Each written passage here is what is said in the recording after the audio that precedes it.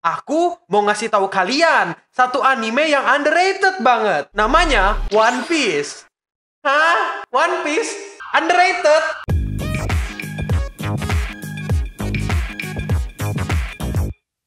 Halo Indo Gamers, para Wibu Denial. Selamat datang lagi bersama gue host yang paling kalian cintai, Admin Yami, dan selamat datang di acara Wibu Lokal. Acara akan membahas anime, manga, dan jejepangan lainnya. Jadi, hari ini aku mau membahas pembahasan yang cukup malesin, karena bikin monkey brainku itu mendidih. Underrated, atau anime underrated. Entah kenapa, komunitas Wibu mulai banyak yang pakai kata-kata ini, dan disematkan ke anime. Mereka tuh pakai kata-kata itu, tapi nggak paham sama definisinya. Jadi, biar kelihatan keren, mereka sering jelaskan anime pakai istilah itu. Tapi, yang nggak paham maksudnya apa, Gak populer dikit dibilang underrated. Gak pernah dibahas atau diomongin di grup wibunya dibilang underrated. Menurutku ya jibrik aja gitu. Oke lah, kita sepakati dulu. Underrated itu artinya apa? Underrated itu kalau dilihat di Google aja dulu nih. Artinya yang gak dapat penilaian bagus. Kalau aku yang artikan, underrated itu sesuatu yang menurut si pembicara seharusnya dapat nilai bagus, tapi nilainya di bawah. Contoh aku bilang Wusen Suzai itu underrated. Itu baru pas. Tapi kalau aku bilang Jujutsu Kaisen underrated, itu baru aneh dan minta dimasukin ke les bahasa Inggris. Nah, wibu-wibu Indonesia itu definisi underratednya aneh banget. Kayak misalnya ada yang bilang ReZero underrated. Kayak waktu di live streamku waktu di Clinton Live. Ada juga yang bilang anime Somali Tomorino Kami-sama underrated. Ada juga yang bilang Fate Series underrated. Ada juga yang bilang Makia underrated.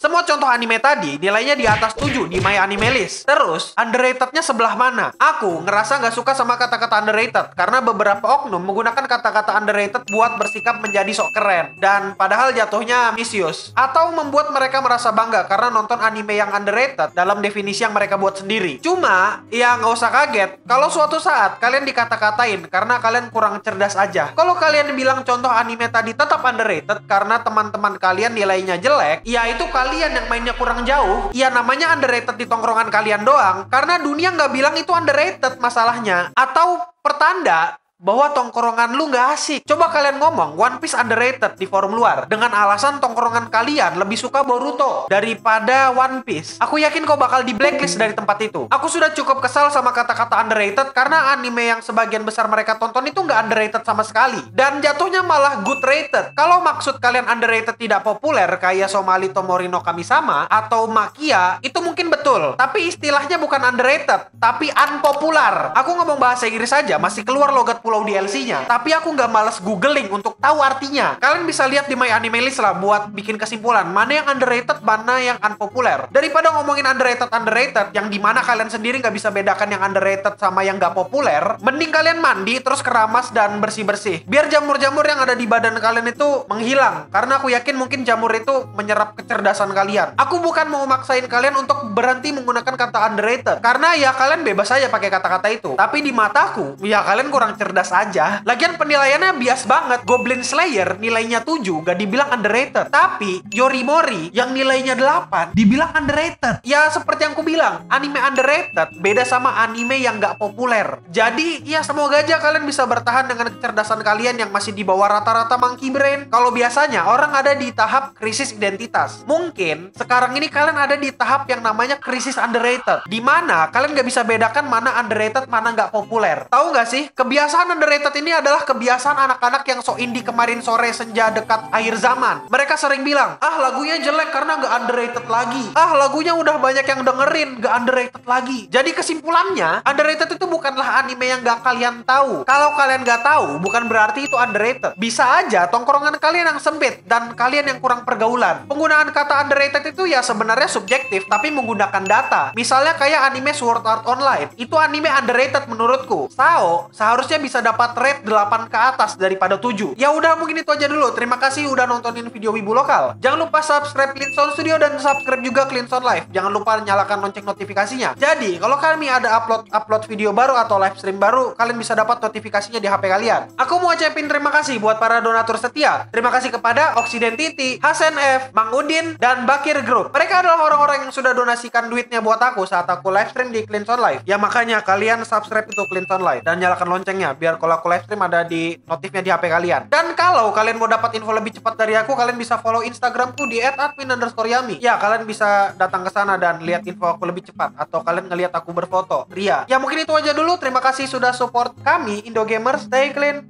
and sound. Dadah. underrated mata nih cok cok